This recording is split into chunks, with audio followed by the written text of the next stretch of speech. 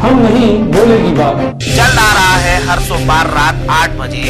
सवालों की भीड़ से घिरे आपको चाहिए जवाब तो देखिए हमारे साथ मुद्दा लाइव पर हम नहीं बोलेगी बात। दो वर्ष पूर्व अंतर्राष्ट्रीय हिंदू परिषद व राष्ट्रीय बजरंग दल को प्रवीण भाई तगोड़िया ने गठन किया था जिसको दो वर्ष पूरे होने पर फतेहपुर ज़िले के दुर्गा मंदिर में कार्यकर्ता सम्मेलन का आयोजन किया गया। सम्मेलन में हिंदू एकता पर ज़ोर देते हुए हिंदुओं को एक मंच पर लाने के साथ साथ गाँव गाँव जाकर लोगों को संगठन में जोड़ने की बात की गई। वहीं अंतर्राष्ट्रीय हिंदू परिषद के जिला महामंत्री श्याम मोहन तिवारी ने कहा कि वर्तमान में केंद्र व प्रदेश की सरकार भगवान राम के नाम पर हिंदुओं को एक बार एक कर राजनीति करती है। वहीं जाति के नाम पर हिंदुओं को तोड़ने का काम करती है। साथ ही प्रदेश सरकार कबूर यात्रा को बंद करने की साजिश रच रही है। इसका हमारा संगठन विरोध करता है। साथ कहा कि आज चीन, पाकिस्तान व नेपाल जैसे देश भारत को धमकी देते हैं। यह सब देश के प्रधानमंत्री के कारण, क्योंकि देश में इन्होंने देश के हिंदुओं को जाति में बांटने का काम किया है।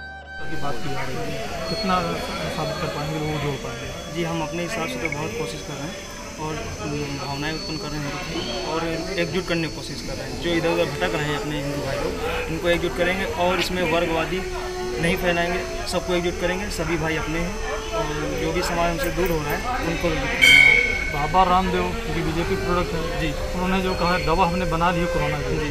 क्या मानते हैं उनको सही बोल रहे हैं?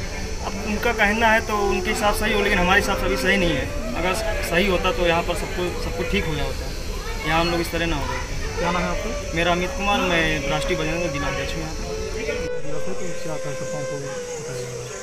माननीय प्रवीण भाई तोगड़िया द्वारा संचालित अंतर्राष्ट्रीय हिंदू परिषद राष्ट्रीय बजरंग दल और अन्य संगठन जिसके अंतर्गत राष्ट्रीय छात्र परिषद राष्ट्रीय महिला परिषद राष्ट्रीय मजदूर परिषद हिंदू हेल्पलाइन ऐसे तमाम तरह के कार्य संगठन के माध्यम से पिछले दो वर्ष में निरंतर किए जा रहे हैं। वर्तमान परिस्थिति में सरकार, संपूर्ण राष्ट्र ने एक मत से पूर्ण बहुमत देकर इस उद्देश्य से बनाई थी ताकि हमारा देश एक मज़बूत राष्ट्र बन के उभर सके।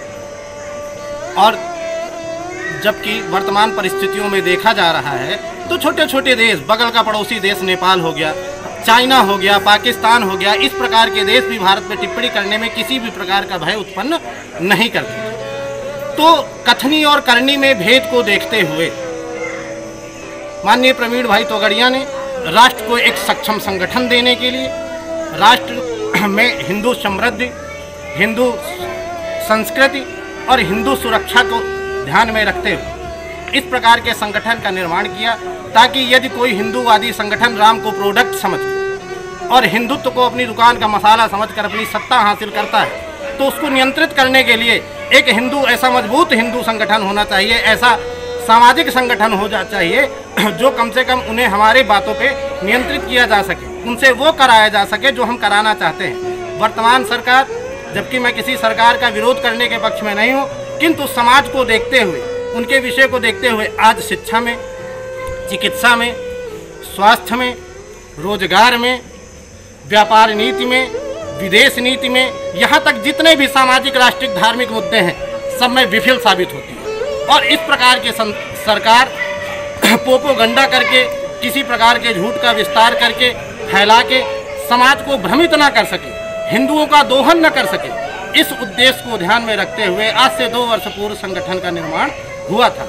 और इस समय उत्तर प्रदेश गवर्नमेंट, या कहो केंद्र सरकार, हिंदुओं के युगों युगों से चली आ रही कांवड़ यात्रा पर प्रतिबंध लगाने का जो कुत्सित प्रयास कर रही है, इसका अंतर्राष्ट्रीय हिंदू परिषद, राष्ट्रीय बजरंग दल पूर्ण रूप से बहिष्कार करता है और सरकारों से यह मांग करता है कि सत्ताएँ आती हैं, जाती हैं। परंपराएँ कभी किसी भी धर्म की विघटित या विनष्ट नहीं करनी चाहिए। अतः कुछ सुरक्षा उपकरणों के साथ यह कांवड़ यात्रा अबाध रूप से निरंतर चलती रहे ताकि शिव भक्तों में आक्रोश न हो। संगठन काफ़ी है हिंदुओं के।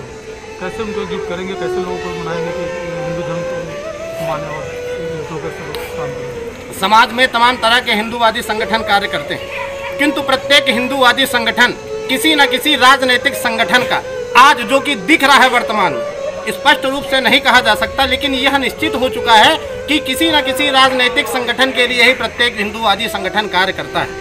और इस समय वर्तमान में हमारा जो संगठन है विशुद्ध हिंदूवादी संगठन है जिसे किसी राजनीति से कोई लेना देना तो जो कार्यकर्ता है आपके क्या गाँव गाँव लोगों को समझाने का प्रयास करेंगे? हमारा संगठन पिछले दो वर्षों में अखिल भारतीय स्तर पर 122 देशों में लगभग निर्मित हो चुका है। प्रत्येक ब्लॉक स्तर पर प्रत्येक ग्राम समिति पे हम लोग ग्राम समिति का निर्माण कर रहे हैं। लगभग लगभग हम प्रत्येक छह विधानसभाओं में सभी में कुछ बहुत मात्रा में हम लोग पहुँचे और घर घर जा हिंदू अलग जगाने का प्रयास कर रहे हैं। हिंदुत्व का मेन बिंदु जो होता है वसुधैव कुटुंबकम की भावना, उसको जागृत करने का प्रयास कर रहे हैं। नफरत की राजनीति, विद्वेष की राजनीति समाज से खत्म होनी चाहिए। यह संकल्प लेके फतेहपुर की धरती में मैं श्याम मोहन तिवारी जिला महामंत्री, अंतर्राष्ट्रीय हिंदू परिषद राष्ट्रीय बजरंग दल, यह संकल्प लेता हूँ कि मेरे जनपद में कोई भी संगठन चाहे हिंदूवादी हो मुस्लिमवादी हो किसी भी संगठन का वह मनुष्य नहीं घोल सकता ना मैं उसको घुलने दूँगा।